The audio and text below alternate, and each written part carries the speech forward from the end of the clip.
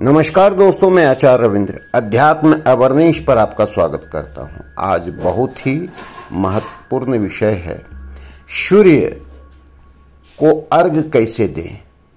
कैसे जीवन में सूर्य के अर्घ से आप परिवर्तन ला सकते हैं? सूर्यदेव, जो कि सारे ग्रहों के राजा ग्रह हैं, आपके कुंडली में प्रथम भाव का अर्थात आपके पूरे आत्मकारक ग्रह माना जाता है। पिता का कारक ग्रह माना जाता है। आपके जीवन में सब कुछ प्रदान करने वाले कारक ग्रह सूर्य माना जाता है।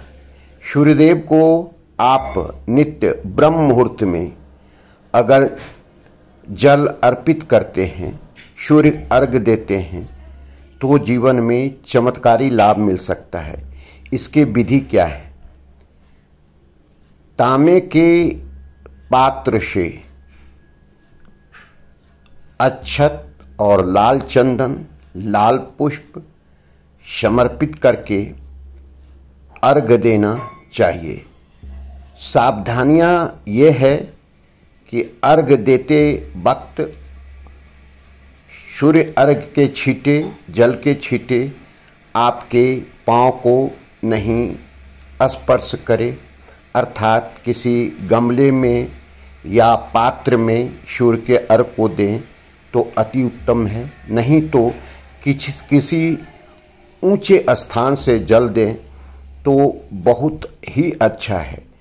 सूर्य अर्घ जब देते हैं तो पूर्व दिशा की ओर करके दें और उनकी किरणें आपके हार्ट को, आत्मा को स्पर्श करते हुए पूरे शरीर से गुजरे।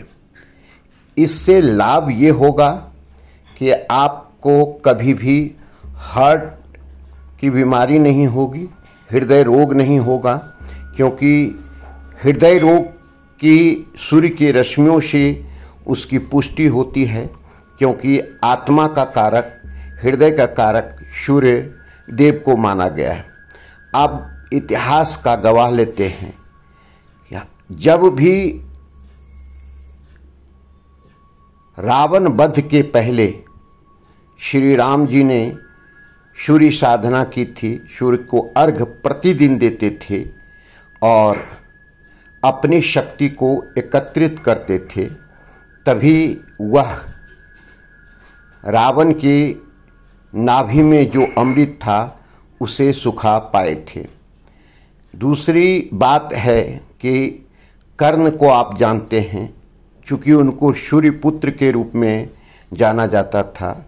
वह प्रतिदिन सूर्य नमस्कार, सूर्य साधना करते थे और इस प्रकार उनके जीवन में एक अभय कवच सूर्य के द्वारा प्रदान किया गया है। अर्थात जो भी व्यक्ति आज के समय में सूर्य को अर्घ देता है सूर्य साधना करता है, सूर्य नमस्कार करता है सूर्य के दिन, अर्थात रविवार के दिन अगर वो नमक ग्रहण नहीं करता है, गुड़, चावल इत्यादि का जीवन में भोग लगा करके सूर्यदेव को ग्रहण करता है तो सूर्य की असीम कृपा प्राप्त होती है।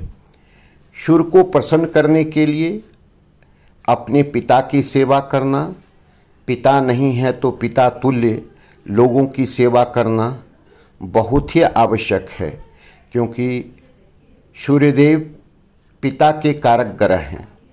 अब हम आते हैं कि अगर आप जीवन में सरकारी नौकरी चाहते हैं या जीवन में तरक्की चाहते हैं, पदोन्नति चाहते हैं तो सूर्य साधना, सूर्य की सेवा सूर्य की अर्घ देना इत्यादि शामिल है।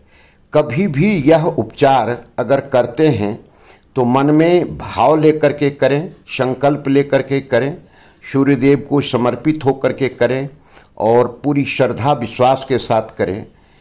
जीवन में एक नहीं, कई ऐसी घटनाएँ हुई है, जो कि इतिहास गवाह है कि सूर्य साधना के बाद जो भी चाहा है व्यक्ति उसे प्राप्त हुआ है।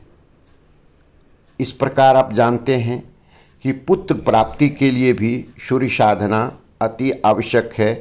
सूर्य के द्वारा जो है, सो पुत्र की प्राप्ति होती है, जैसे कुंती ने प्राप्ति किया था।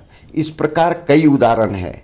बिहार और उत्तर प्रदेश में छठ पूजा की जाती है सूर्य साधना की जाती है, और उसका मुख्य उद्देश्य होता है कि आरोग्यता पुत्र प्राप्ति और परिवार के सुख समृद्धि के लिए।